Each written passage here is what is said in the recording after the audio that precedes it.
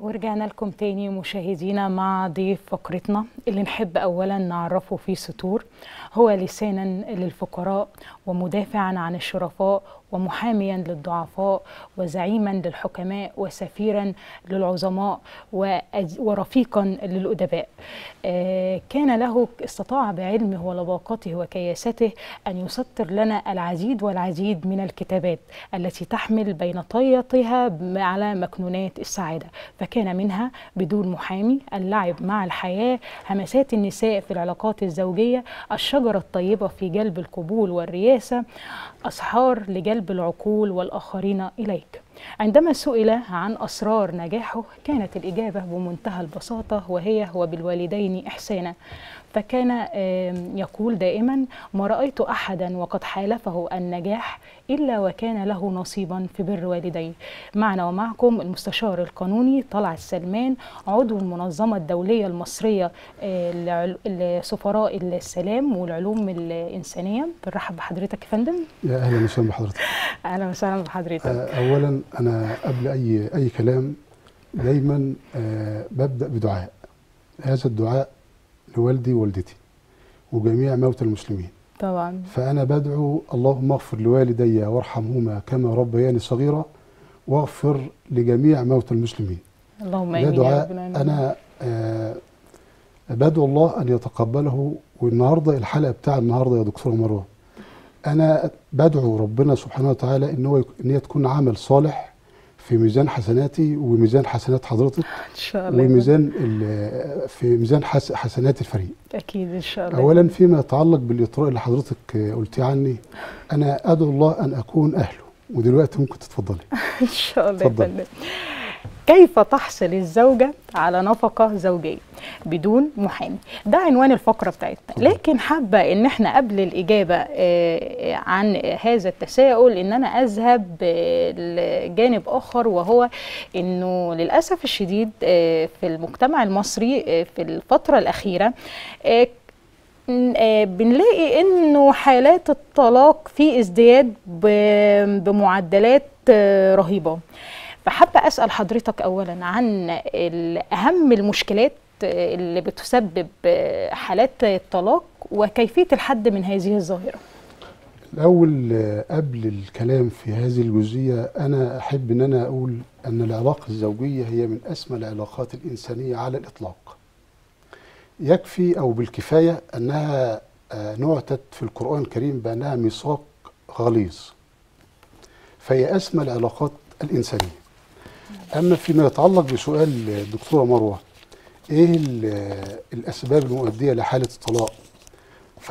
الس- يعني ف- هذا الانتشار و- والسرعة. هي هي أسباب كسر. مم. أسباب تتعلق بأسرة الزوجة أب أم إخوات. وأسباب تتعلق بأسرة الزوج أب أخ إخوات. تمام. فهي نتاج مجتمع. يعني لما باخد قرار بالطلاق هذا القرار هو نتاج مجتمعي فأنا ممكن نتكلم في هذا الموضوع في حلقة واثنين وثلاثة وأربعة لكن أنا هحاول إن أنا أجمل أجمل يعني في نقاط لا، سريعة في يعني سطور. مثلا في سطور تمام سطور. بحيث إن إحنا طبعا معانا لا، الموضوع لا، في كله سطور. منتظر في صدور إن شاء الله أنا هجمله في سطور إن من أسباب الطلاق آه أنا أقول سطور أرجو من المشاهد إن هو يركز لأن هي فعلا تحتاج إلى التركيز والعمق في التفكير. تمام. أنا أقول السطور اللي الأسباب آه أخ آه في طمع قبيل. تمام. سواء سواء كان هذا الأخ في أسرة الزوج أو في أسرة الزوجة. يبقى أنا عندي أول سبب أن يكون هناك أخ في طمعه طمع قبيل. تمام. آه ووجود أيضا أخت في قبح أخت هابيل سواء موجودة في أسرة الزوج أو في أسرة الزوجة. وأنا لما بتكلم بقول القبح أنا ما بقولش القبح التكوين الخ- الخلقي. لا. ال- النفس والسلوك. النفس أم، ليس لديها سلام داخلي. تمام. وعدم حزم في عدم حزم سيدنا آدم في علاقته مع أولاده اللي انتهت بجريمة القتل. فأنا عندي أب غير حازم قد يكون هذا هو, هو والد ال- الزوجه وقد يكون هو والد الزوج. ف وأم متسلطة سواء أم الزوجه أو أم الزوج. فأنا النهارده بقول أن الأسباب الطلاق أسباب تتعلق بالأسرتين وفي النهاية أنا بسأل سؤال أو حد يسألني سؤال هيقول له طيب أين دور الزوج في هذا القرار؟ وهو قراره. إذا كانت الأسباب آه، اجمالا تتعلق بأسرة الزوج وأسرة الزوجة إذا أين دور آه، أين دور الزوج؟ دور الزوج آه، هو في عجلة سيدنا موسى وقصته مع الخضر. العجلة إن هو بياخد القرار وبيدي ودنه لكلام قيل وقال. فيجب على الزوج أن لا يكون متعجل ويكون لديه من الحكمة إن هو يدير يدير سفينة العلاقه الزوجية باقتدار. وفي النهاية هو المسؤول. فإذا. أحب آه، أعتقد أنه آه، لا يطلق تمام. آه الكل بقى بينتظر هذه الإجابة. آه خلاص آه لو استحالت الحياة ولجأنا إلى هذا ال- الأمر فهنا بتقع مشكلة النفقة وطبعا حضر يعني إحنا عارفين طبعا كل المشاكل دي. فإزاي النهاردة الزوجة آه، أو المرأة مثلا اللي هي طلقت إن هي ترفع قضية نفقة في خطوات؟ وأنا يعني أنا عارفة إن حضرتك النهاردة إن شاء الله جاية بخطوات هاخد- عملية آه، إن هي بدون محامي. هاخد من ال- الإجابة بتاعتي خيط من كلام حضرتك. تمام. أنت قلت في الكلام دلوقتي آه إذا طلقت إزاي تقيم دعوى نفقه زوجية؟ تمام. آه في هذا الكلام خطأ أعتقد أنه لدى الكثير من الناس. تمام. آه الكثير يعتقد أن الزوجة ليس لها الحق أن تقيم دعوى نفقه زوجية إلا في حالة طلاقها أو في حالة إن هي غضبانة من المنزل الزوجية. ده اعتقاد خاطئ. يعني آه تمام. اتفضل؟ حضرتك. هي من حقها أن هي تقيم هذه الدعوة وهي في اركان منزل الزوجية قائمة وهي في المطبخ. ف- بس دي حاجة أسطورية شوية لا، لأن لا. هي لو في المطبخ أصلا ورفعت قضية نفع أكيد مش هتبقى في المطبخ بصراحة. لا. لا هو كمعلومة قانونية يا دكتورة مروه الناس متخيلة إن أنا الزوجة ما ينفعش تقيم دعوة نفقه زوجية وهي الا إذا كانت غضبانة أو مض- أو فعلاً. مضروبه أو لا. القانون آه، يتيح لها إن هي تقيم الدعوة حتى لو كانت في اركان منزل الزوجيه قائمة مع زوجها. تمام. ما دي يعني هنا النفقة هي متع... يعني متعلقة بالمرأة سواء كانت متزوجة أو مطلقة. لا. إيه؟ هي هي متعلقة إذا كانت هي موجودة في منزل الزوجية يبقى لها نفقة زوجية. إنما مطلقة انقطعت النفقة الزوجية وأصبح هناك أنواع أخرى من النفقات شكل نفقة العدة والمؤخر وخلافه.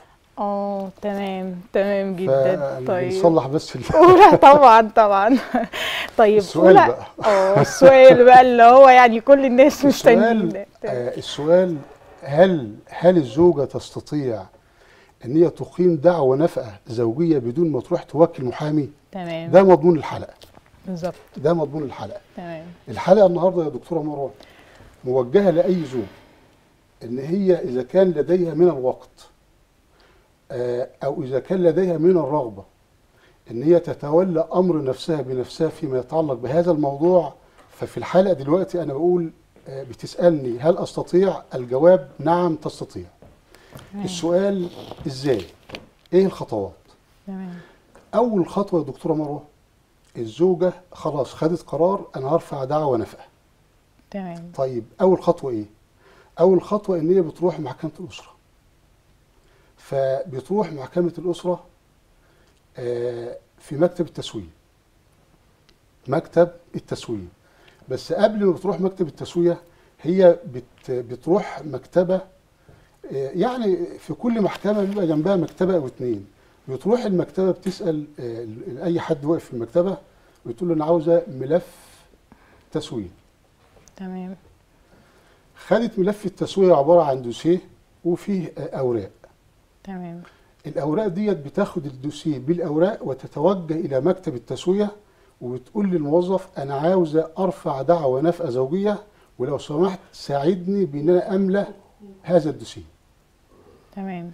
فهي بتملى الدوسية بمنتهى البساطة ما فيش فيه أي مشكلة خالص. يعني اسمها سبب الخلاف إيه؟